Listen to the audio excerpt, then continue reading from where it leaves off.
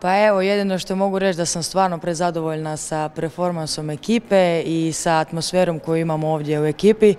E, šta reći, potvrdili smo da ova medalja nije bila slučajna, tako da evo, nastavljamo niz pobjeda i nadam se da će se tako i nastaviti. Vidjet ćemo protivnice i prema e, e, njihovoj igri ćemo slagati taktiku u obrani i u napadu i koje cure najbolje mogu odgovoriti na te sve zahtjeve.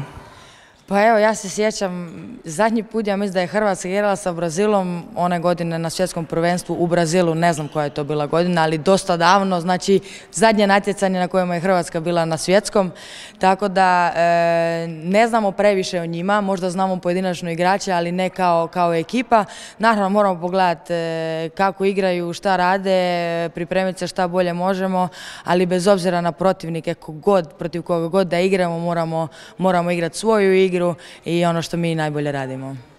pa još nismo igrali s njima, ali oni igraju danas sa Nizozemskom i to ćemo naravno gledati, vidjeti kako igraju, ali mislim da je, da je ključ svega i dalje obrana kao, kao i uvijek, a probati e, obraniti se što bolje i onda zabiti što više lakih golova ako je moguće, ali ne znam, mislim da trebamo dati sve od sebe kao inače i onda da će sve biti ok.